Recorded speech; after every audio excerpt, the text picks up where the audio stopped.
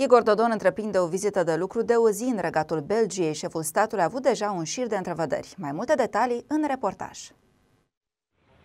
Prima întrevedere din cadrul vizitei de lucru în regatul Belgiei a fost cu Jean Jambon, ministru, președintele Flandrei, regiunea cu cel mai avansat grad de industrializare a țării și una dintre cele mai dezvoltate din Europa. Șeful statului a optat pentru ca oamenii de afaceri din Moldova să efectueze vizite de răspuns în Belgia, inclusiv în Flandra. Igor Dodon a subliniat că partea moldovenească este dispusă să ofere comunității de afaceri din Belgia posibilități largi de cooperare regională datorită acordurilor de liber schimb ale Moldovei Moldovei cu țările CSI, UE, Turcia și Europa de Sud-Est. Republica Moldova își dorește intensificarea cooperării cu comunitățile belgice, de ce cred că această întâlnire este foarte bine.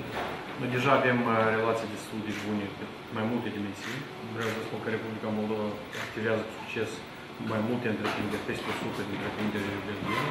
De ce sper foarte mult că prin această întrevedere contactul la nivelul cel mai înalt vom da un stimulent un impuls suplimentar pentru dezvoltarea relațiilor economice.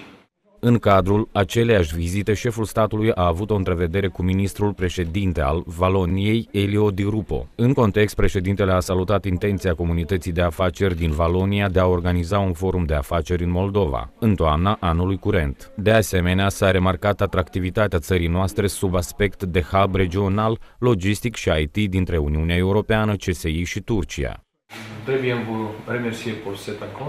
Vreau să remarc bunele noastre relații cu Belgia. Sper că vom organiza în toamna acestui an un business forum la Chișinău, unde cu siguranță vom invita și antreprenorii din Belgia. Vor fi prezente în cadrul evenimentului persoane importante și lansez în acest moment invitația de a participa și dumneavoastră dacă veți avea posibilitate.